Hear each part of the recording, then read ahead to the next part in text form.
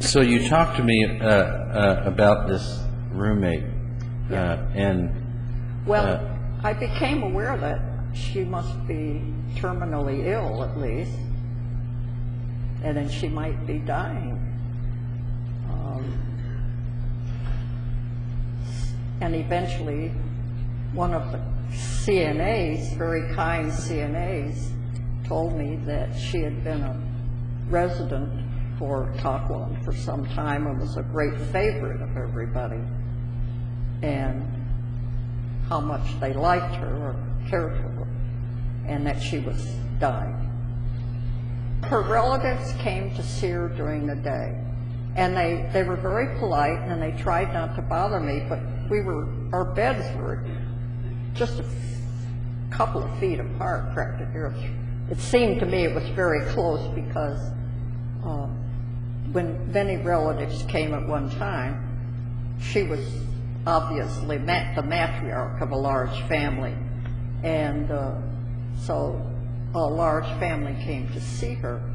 Um, but it was very noisy and during the day, and they were always very apologetic. But then at night, she was left alone. No family member and no staff member was there with her. And so But we you were we her. were left left alone. And I realized after a while how very ill she was, uh, and that she would probably die while I was in the room with her. And I I felt like I wanted to take care of her. I wanted to hold her hand, but of course I couldn't do it because I couldn't even get out of bed. And uh, so um, every now and then, one of the, the nursing assistants, bless their hearts, would come in and stroke her forehead, or but they couldn't. They, they had to take care of other patients, obviously. They couldn't stay with her. So for two nights, we were alone together, and I realized the third night that she probably would be dying that night. For some reason, I felt this. And I said, I, I cannot. I tried to do it, but then my usual defenses that usually work for me didn't work, and I began to get extremely agitated and hysterical.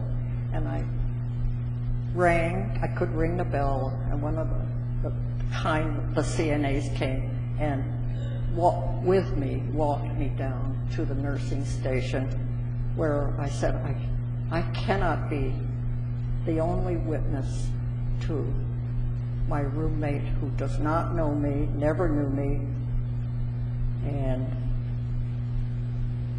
I don't, I cannot, I just can't, I can't. I felt so guilty that I couldn't be a witness with her to her death.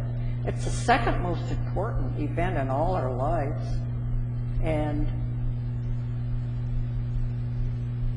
so I, I just said this, and a wonderful charge nurse was on duty. She was. and you were crying. Yeah, and she understood, she was full of empathy and was very human but very professional at the same time. And I asked her to call Margaret and my other daughter, Jennifer, and they came over right away and, uh, and got me under control. um, and helped Cindy, who was the nurse's name, um, with finding, they called it finally the director of nursing who found a, a bed for me for, in another room with another roommate who, uh, and that night my roommate did die. And after that, I felt so guilty for not having stayed. And I still do. And maybe we should all feel a little guilty.